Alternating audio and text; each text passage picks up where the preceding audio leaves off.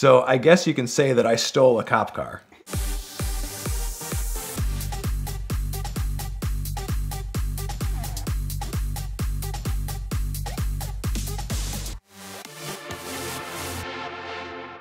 I have a thing for police cars, and I, I, think that stems from the movie The Blues Brothers, because in the movie they've got this ex police car 1974 Dodge Monaco, and it seems to have like these magical powers to just do anything, elude other police cars, and everything else. So that's something that's always stuck with me.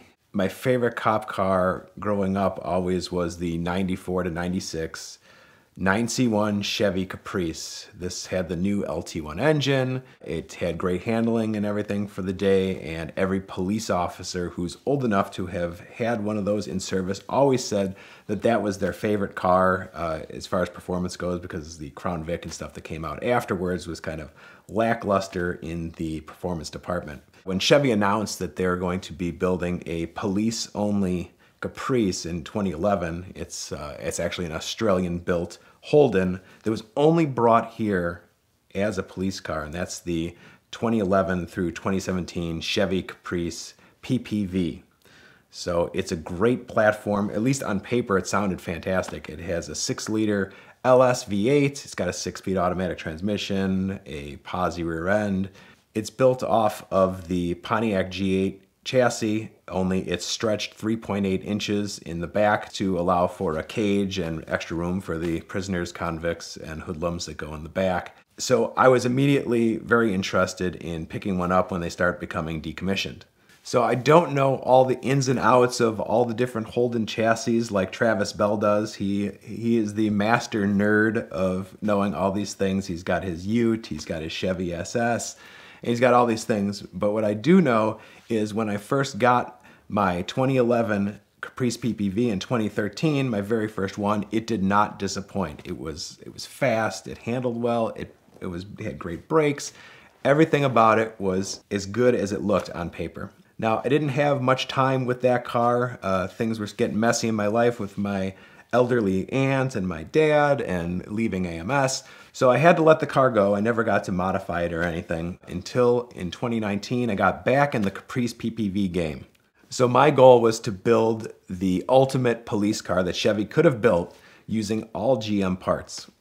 So I set out and I found a 2013 Caprice PPV down in Kansas, and it was one of these that you rarely find, poorly listed, bad pictures, but I noticed that the car had carpet, which is kind of strange for one of these PPVs. They all have the, the rubber floor matting.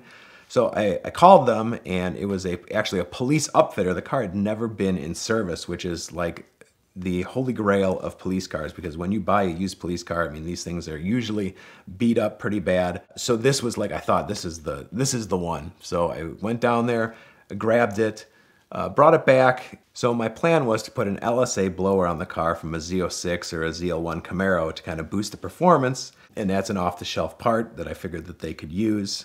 So I secured a blower. I decided the only parts that I would I had to put on when I'm doing this build is I put a slight stealth cam in it from Speed Inc. and headers. But other than that, the car was going to be all factory GM parts sourced some Brembo brakes from a Camaro SS, did some research. It's a kind of a hodgepodge of Camaro SS and CTSV parts. You can actually fit the Brembo brakes underneath the factory steel wheels, which was key to me. So as I'm doing research, collecting parts, and kind of making a game plan for this car, we start taking it apart. We get the blower mounted on the car, and that's when I had a change of heart on what I wanted to do. So the early versions of the Caprice PPV, the 2011 through 2013, have this kind of like antiquated interior that looks like it's from like a 2005. In 2014, they actually updated it and made it make looks like a modern vehicle inside. It's a huge difference. No difference really on the outside of the car, but the interior is a huge upgrade. So I decided, once again, what I always do is I start on a project, I'll end up buying two or three versions before I find the exact platform I want. So kind of mid build, I decided, well, I think I want to find a newer vehicle. So I always on this site, Chicago Motors, my buddies Abdul and Ted over there.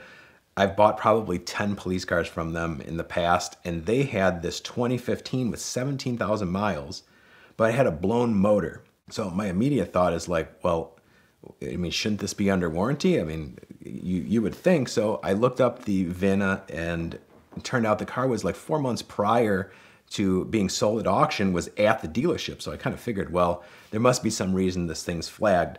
I went over and looked at it, and the car was great. It's a 2015, so it's got the newer interior, low mileage, and it was actually used at a prison, so it, it probably didn't see like some heavy abuse, but sure enough, it had a, a rod sticking through the block. So I negotiated down the price to what was reasonable for a car with a blown motor and uh, secured the thing, bought it, and you know, I just I was thinking, man, this thing maybe it's under warranty. So I called my buddy over at the Chevy dealer, give him the VIN. I said, "What's the story? Is this is this thing been flagged?" And he looked it up and he said, "No, there's there's really there's nothing here. It should be under warranty." He's like, "Why don't you just have it towed here and we'll stick an engine in it?" So that's what I did shipped it to the Chevy dealer. They confirmed, sure enough, it was under warranty, and uh, and they threw a new long block in it for me for free. So I basically got this car for half price, and you know this is the first time that uh, Ted and Abdul are going to find out that uh, the car was actually under warranty. You know, I, I think I've bought enough cars from them that uh, they probably made up for it uh, on the back end, but uh, I definitely uh, I hit it big on this one. So I guess you can say that I stole a cop car. So my 2013 was gray, which was really the color that I wanted. And this 2015 is silver. And at first I wasn't quite sure, but kind of as the as I got the car, started putting the parts on it and stuff, like it I think it actually works well. I think that white is probably too seen. Like the silver seems like more of like a detective kind of look for it. And that's kind of what I'm after is to look like a police car, like to look like an undercover police car and have people really question, like, as you go by, like, is that a police car or not? I think some people that buy used police cars, they like want to have that feeling of authority. And for me, I just want people to get out of the left lane. And one of the most effective ways to do that is to have what seems to be a police car and just come up the left lane. And as you see that in your rearview mirror, get over and get out of my way. So with the with the new 2015 platform in place, I had to take the blower off the 2013, get that thing put back together, get that sold, which I made a healthy profit on as well because I kind of came in and and uh, installed that thing as it may be. So the full package on this 2015 is an LSA blower. It's got a Speed Inc. stealth cam, so it's uh, it's pretty quiet. I did headers with cats in an X pipe left the factory mufflers to kind of keep the noise down. We got the Camaro SS and CTSV Brembo brakes underneath the factory wheels. We went with the Chevy SS springs, which dropped it down three quarters of an inch and have uh, give the car a little better handling.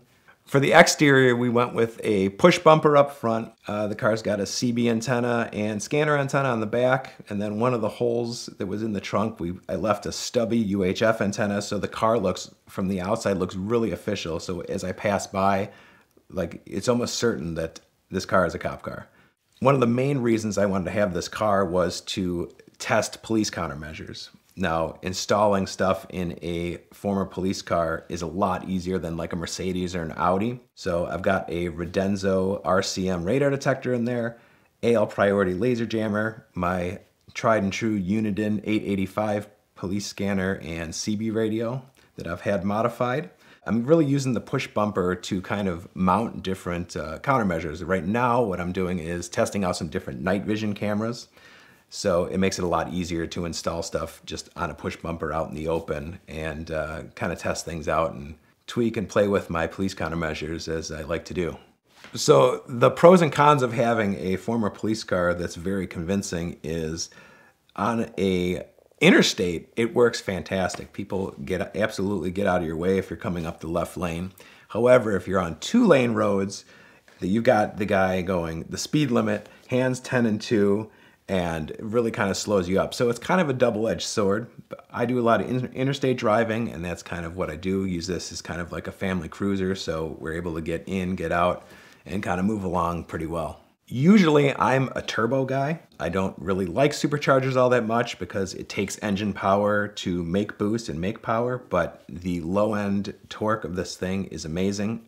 Uh, obviously, Chevy doesn't make any sort of turbocharged version of the LS motor, so I was kind of uh, stuck with a blower. And I will say that while this the top end is not the greatest with a supercharger, this car will do a burnout as long as you command it to. As long as you're man enough to, to keep the pedal down, this thing will just burn the tires for a city block.